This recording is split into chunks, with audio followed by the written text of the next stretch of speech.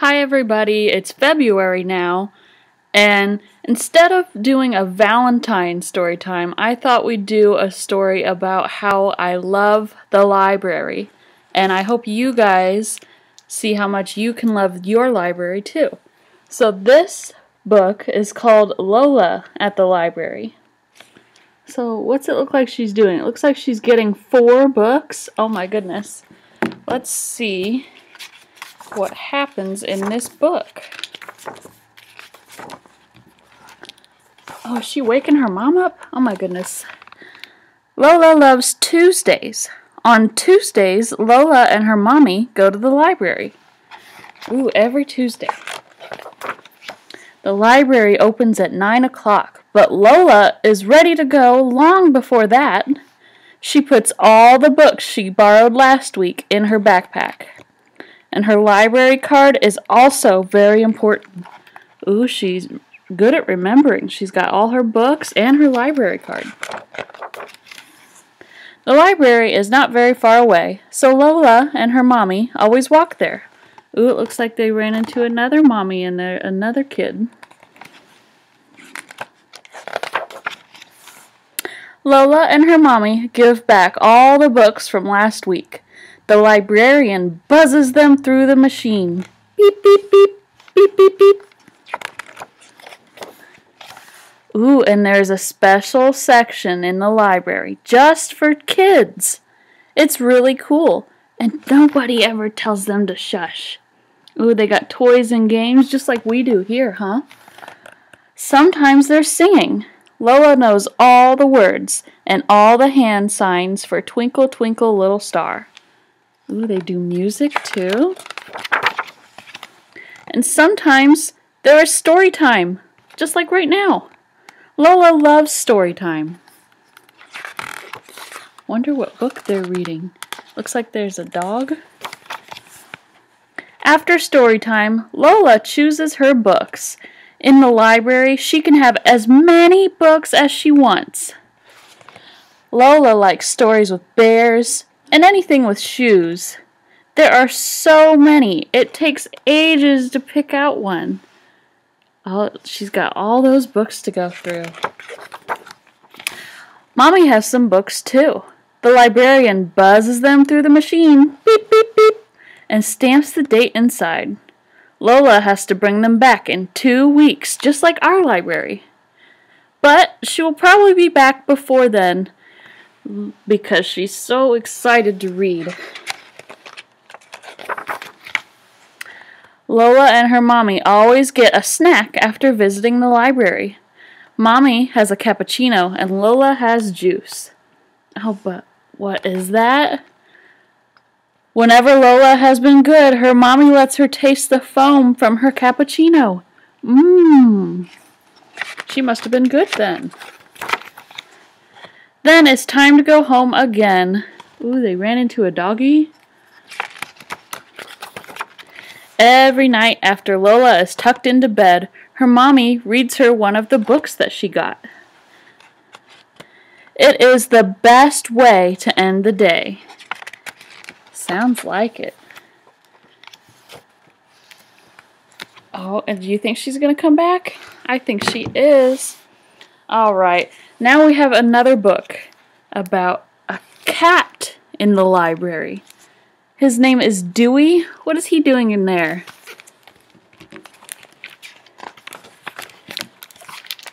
Oh, look. He's climbing on top of the books. Every night, people left books in the return box of the library in the small town of Spencer, Iowa. Funny books, big books, truck books, pig books. They left them all. But one night, on the coldest night of the year, someone left a strange surprise. a tiny kitten! They put the cat in the drop box. Oh my goodness. Don't do that. When Vicki the librarian found him the next morning, the kitten was cold and scared and very, very dirty.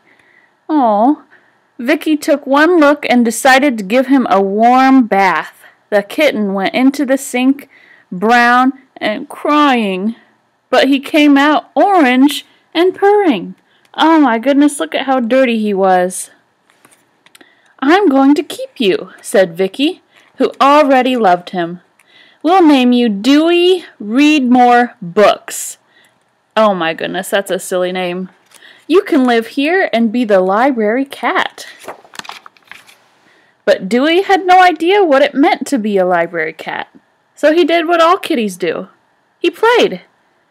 He lounged on the newspapers, rode on the book cart, and he knocked pens onto the floor. He goofed around with Marty Mouse. Ooh, is that a toy mouse? He snooped in all the drawers and always found at least one rubber band to chew on. Oh my goodness. But what Dewey loved most was the people. Tall ones, round ones, quiet ones, loud ones. The little ones, however, surprised him, and not always in a good way. Look, Nathan, said his mommy, there's a cat in the library. Nathan bent down and said, Hi, Dewey, Dewey, Huey. No, said his sister Hannah. His name is Dewey Readmore Books. Dewey squirmed. The boy was petting him in the wrong way. Dewey loved to be petted, but he hated being petted in the wrong direction. Oh my goodness. This little boy doesn't know what to do with a cat. Dewey was licking his fur back into place when he heard a strange noise. Wah! Dewey's ears perked up. He looked around. Wah! Wah! Dewey sprang into attention and crept really slowly towards the sound. What do we think that is? Is it... Surprise! The little people, Dewey discovered, can, can, can be even littler. It's a baby. They love to giggle and grab and pull and coo. Babies are wonderful, Dewey thought. Cute and smellicious, too. What? Do you like how the baby smells? A few days later, Dewey went exploring and discovered a secret room. The most exciting thing he had ever seen. It was Children's Story Hour. Wowie whiskers, this looks fun, Dewey thought and he pushed into the room with his nose. Someone shouted, There's a cat in the library! And Dewey froze. He's not supposed to be there at story time, is he? It was quiet for one minute, but then everything went wild. Oh, everybody loves the cat. And the next thing Dewey knew, he was being carried upside down.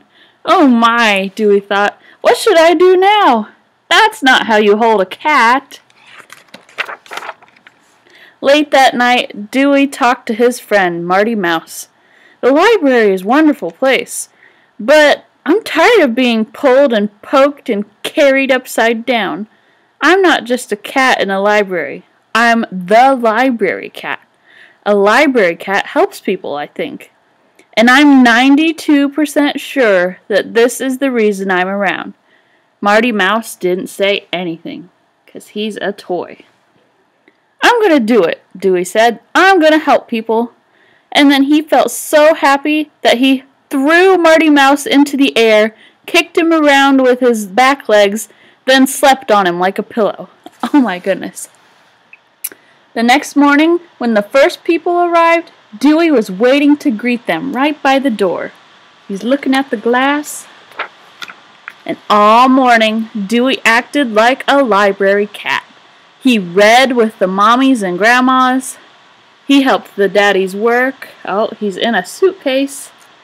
And he even helped shelve the books with the library lady. You think he's helping with that? Oh my goodness. And when he saw little Nathan again, he turned a circle around and a half so the boy could pet him the right way. And I'm so glad we're friends. Do woo wee, Nathan said.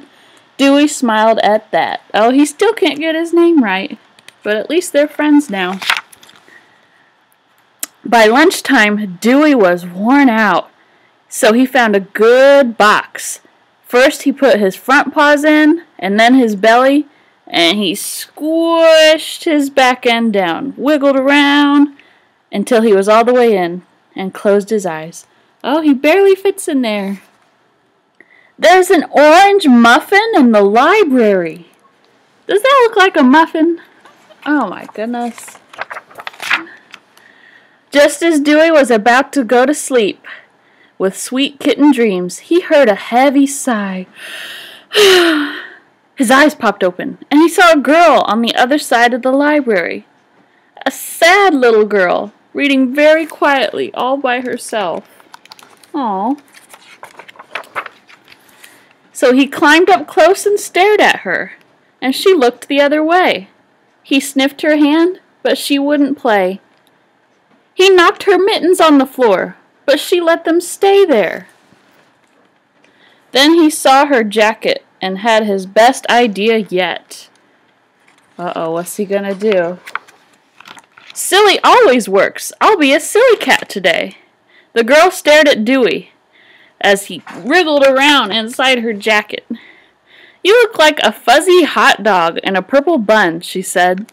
And then she surprised him. She laughed right out loud.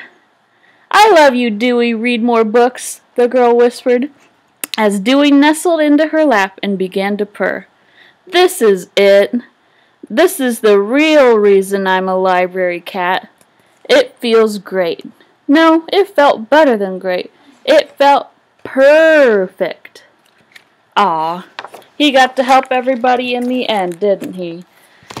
You think we should have a library cat here? I don't know. Well, I hope you guys stay tuned for more story times and come in and show us how much you love your library. All right, see you later. Bye bye.